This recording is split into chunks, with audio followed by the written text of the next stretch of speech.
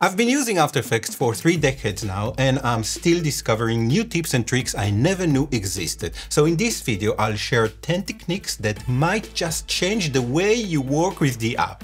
And hey, if you pick even one new tip, do me a favor and give this video a thumbs up. The first tip is optional.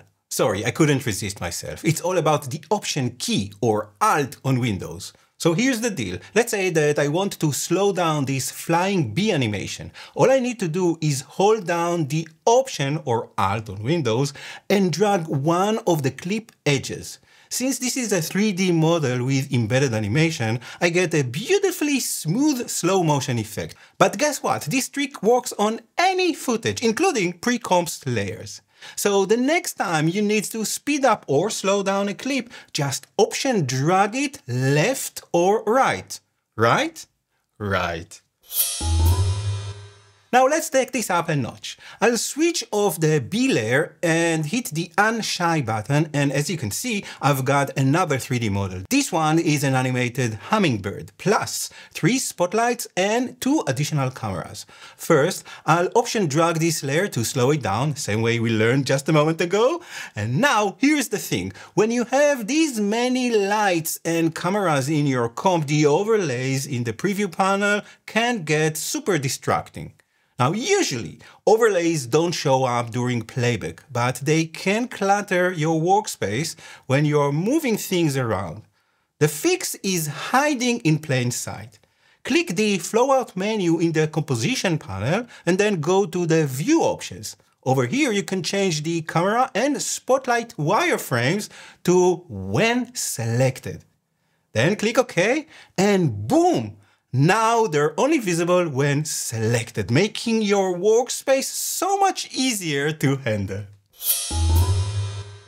There's a whole lot of sugary snowfall happening in this comp, but I reckon if we scale up the profiterole clip, say to 250%, it will look so much better and maybe a bit sexier. But let's be real, it's still a pastry. Now, the downside is that scaling up like this means that we are losing quality. And honestly, I can't be bothered firing up an AI plugin just to fix it. So instead, let's just use a better scaling algorithm, which is already built into After Effects. Here's what you need to do. Go to the layer menu, then find the quality section and switch to bicubic. Or if you're all about speed, just click on the diagonal quality line in the timeline. Quick tip, there are three modes here. Draft, which is this jagged line, linear, the default, also straight line, and bicubic, a curvy line, because curves are fancy. So I'll zoom in just so we can check the difference. First, I'll switch back to linear by clicking twice on this line, and then I'll take a snapshot, and then I'll flip it to bicubic to compare. It's a subtle improvement and hopefully you can notice it. But the best part, it is GPU accelerated, so it won't cost you anything performance-wise. Definitely worth enabling when you're upscaling pixel-based images. Sticking with this comp, I'm loving the new framing, but this over-the-top title animation, mm, not so much. I wonder who made this. It was me. Anyway, let's say I want to start over or even reset it completely. First, I'll tap U to reveal all the keyframes, and from here, I can just delete them and start fresh. But wait, there's a faster way. I'll close and reopen the layer, and I'll spot the reset text next to the transform property. Now here's the trick. Hold down Option or Alt on Windows, and only then click Reset. Because the option key was held down, this doesn't just reset the values, it also wipes out all the keyframes. From here, I can drag the layer to its new home and start over. Or, in this case, just leave it right there. I think it looks better and doesn't steal the focus from the background action. In this jazzy comp, I've almost finished animating all the layers except of the piano keys. Now I've got two separate layers here and they already have a wiggle transform driving the keyboard's up and down motion. But now I want to parent the white keys to the black keys layer. That way, the child layer inherits all the parents' transformation. Well, almost all of them. What's missing? Opacity, of course. And this is because opacity is not a geometric transformation. So it doesn't get passed down automatically. But what if I really wanted to? Well, here is the workaround. Enable an expression for the child's layer opacity and then type parent.opacity. And that's it. Now, any opacity changes, even animations on the parent layer will ripple down to the child layer. And this small trick is going to be super useful in the future. The next tip is even tinier, but it will save you precious seconds and might just make you the coolest person at your next After Effects party. So let's say I need to unparent some or maybe all of the layers in this composition. Sure, I can select them, head to the pop-up menu and then click None. But come on, that's an amateur hour. Instead, check this out. Hold down Command here on the Mac, Control on Windows, and then click the Pick Whip icon. And boom, no more parenting. The children are free and out on the wild. Now, here's a pro tip. Parenting and unparenting are timeline sensitive, so make sure you are at the right point before you pull the plug. And also, the same trick will work for track matte layers. Just command click or control click the pick whip to release a matte in seconds. I can't even count the number of times I've needed to repeat text while designing motion graphics pieces. One common reason is that text can be used as a graphical element, just like in this example. Here, sandwiched between the background and the title, I've got a text layer with a single bullet symbol. Now let's say that I want to repeat it across the first line on the screen. And to do it, I'll open the text layer in the timeline and head to the text source text option. I'll enable an expression by holding Option or Alt and clicking on the stopwatch.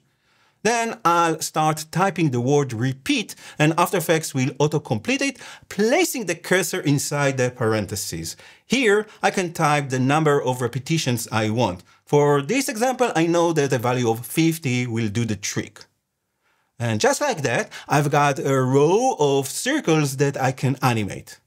But I can also add multiple lines. This is just a tiny tweak to the code. I'll start by wrapping the expression in open parentheses at the beginning, and then I'll add to it plus, double quotes, backward slash, and the letter N, and close the parentheses. I'll add a period and then repeat, and in parentheses, the number of the rows that I need. In this case, I know that 19 is the magic number, so I'll type it in. And voila, the screen is now filled with tiny balls. Now, before I show you what else you can do with these dots, let me ask you, are you getting any value out of this video? If you are, hit that like button and consider subscribing to help me keep creating cool content just for you during next year. Alright, now that we've got all these dots, let me share a cool tip of what you can do with them. These dots, as you may recall, are actually text characters, which means that we can actually add some animators and really get this party going. So let's kick things off with a scale animator. I'll set the scale value to 10% and then I'll open the advanced settings under the range selector and I'll change the shape to triangle and set the mode to subtract. Nice, already looking interesting. Next, I'll drill up this animator and select the text property for the layer because I want to add another animator. This time, it will be under fill color RGB and I'm going to add another one from the same category. So fill color, this one is going to be hue. I'll leave the fill color set to red, but I'll tweak the hue using revolutions. I'll set it to one revolution times zero degrees in this case. Then I'll open the advanced settings again and set the shape to triangle. And this time I'll turn randomize order on. And now the colors are being randomized based on the shape and the number of revolutions. If you want more colors, you can just add more revolution. It's that easy. Now, if we want to make it cooler or warmer, depending on your color choice, let's not stop here. Let's add another animator. And again, pay attention that you need to select the main text layer again. Otherwise, After Effects will just add new values to the existing animator. So for the third one, I'm going to select opacity and I'll set the opacity to 0%. Then I'll animate the start value under the range selector 1 from 0 to 100 over the entire comp. Next, under the advanced settings, I'll enable randomize order again. Now, if I'll preview it, we can see that we've got some random colorful circles popping in behind the main title. Can you feel the hype? Because I definitely can. For the next tip, I'll need a volunteer who wants to go to space. Just kidding, no astronaut training required. Sit back and watch me as I do the heavy lifting, showing you these three digital signage posters in progress. Each one has its own elements, but they still feel like part of a series, right? Now, my mission here is to replace this boring Space Explorer logo with something more exciting. And before I do it and show you how to replace the logo across the entire comps, here is a bonus tip to fix a different issue that we have here. So in the first comp, you'll notice the shuttle layer animates to the right, creating a fake parallax effect, which looks cool, right? But there's a problem. It reveals the edge of the layer behind it, and that's not so cool. So to fix this, I'll go to the end of this composition and add a rectangle mask that covers the missing pixels. Then I'll set the mask mode to none and I'll add the fill effect under the generate category to this layer. I'll set the fill color to white and I'll assign the fill mask to mask number one, which is the mask that I just created. And just like that, the fill effect respects the mask even outside of the layer boundaries. All right, now let's go back to the logo replacement mission. I'm going to select the logo in the first composition where I'm working and then right click on it and choose reveal, reveal layer source in project. This will highlight the source layer in the project panel, and right above it, I've got this new space exploration logo I want to use instead. Now, I could just hold down the Option or Alt key and drag it onto the comp to replace it, but that would only update the one comp that I'm working on. What if I want to update it everywhere? So here's the trick. In the project panel, hold Option or Alt and drag the new logo on top of the old one. And big bang boom! Every instance of that layer gets updated automatically. Such a time saver, right? But hey, don't go yet. I've got another last one for you, and then I'll drop the mic. So real quick, before the last tip, I just want to give a shout out to all my frequent flyers. That's all my viewers and you all know who you are. The more you fly with me, the more perks you get. Thank you so much for sticking around. I highly appreciate your time. Okay, let's get the last one rolling. You know, this is the end of the year or a start of a new one, depending on when you are watching this tutorial. And let's end it up with a cool trick for sampling colors outside of the After Effects interface. So here is the problem. Imagine that I bring up a browser window and search for 2025 color trends to get some inspiration. I find an image that I love and I want to sample colors from it. The catch is that After Effects eyedropper tool only works inside the application frame. So if I'll minimize the application frame and try to sample colors from the browser, it doesn't work. The moment I move the cursor outside of After Effects and try to sample a color, and then I'll move it back, the color resets itself. So to make it work, what we want to do is activate the eyedropper tool again and then hover on the area you want to sample outside, of course, of the After Effects interface. And then when you reach a color that you want, just press the Enter key to lock the color in. And that's it.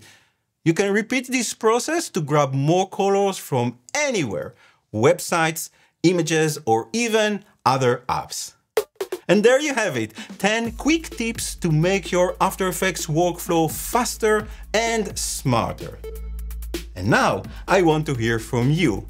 How many years you are working with After Effects? How many of these tips were new to you? And most importantly, which tip blew your mind and made you want to watch another video like this one or the one you are seeing on screen?